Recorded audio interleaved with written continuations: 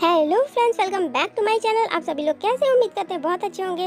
और आज के वीडियो में मैं आपके साथ शेयर करने वाली हूँ लिबर्टी की सैंडल की अनबॉक्सिंग और रिव्यू वीडियो इसको मैंने ऑर्डर किया है फ्लिपकार्ट से बट ये कहीं से भी स्पॉन्सर नहीं है, ना लिबर्टी से और ना फ्लिपकार्ट से। ये मैंने खुद ख़रीदा है बट आपके साथ अपना एक्सपीरियंस शेयर करने के लिए वीडियो शेयर कर रही हूँ। ट्वेल्व हंड्रेड इसका प्राइस है, लेकिन आफ्टर डिस्काउंट के बाद तकरीबन सात सौ का मिल गया है सिक्स का।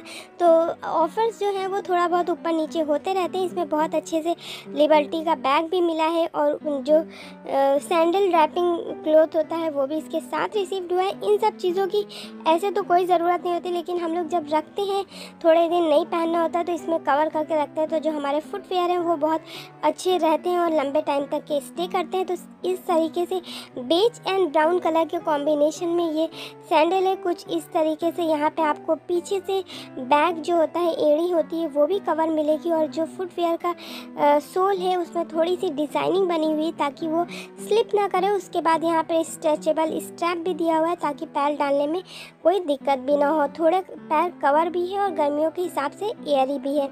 और लेकिन इसमें जो साइज़ था वो मेरा थोड़ा गलत आ गया है साइज़ छोटा आ गया था। और यूजुअली ये सैंडल मेरे लिए है भी नहीं, मेरी मॉम के लिए थी। बट इसका साइज़ मैं एक्सचेंज करवा लूँगी। तो इस तरीके से इसका सोल वगैरह बहुत अच्छा है, बहुत लाइट वेट है, पहनने में आसान है और साथ साथ थोड़ा कंफर्ट भी है।